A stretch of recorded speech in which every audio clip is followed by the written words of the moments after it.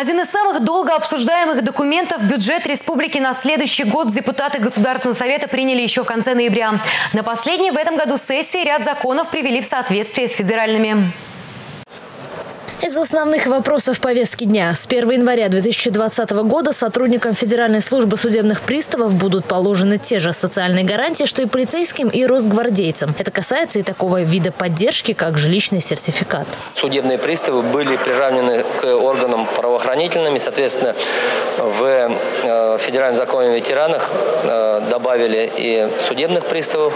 И, соответственно, они имеют право уже получать сертификаты на э, приобретение приобретения жилья, если они стоят в очереди. 400 человек а, находятся в очереди, и только в этом году около 90 а, человек получат сертификаты. Следующие поправки в законодательство касаются капитального ремонта. В состав комиссии по приемке работ по капремонту многоквартирных домов включат представители органов местного самоуправления. Сейчас они вне данного процесса, что иногда превращает процедуру в формальность. Все-таки муниципалитет отвечает за все, что происходит э, на территории э, муниципалитетов. И э, их сотрудники обязательно должны быть для более жесткого контроля по э, ведению подписанию актов по ремонту данных многоквартирных домов.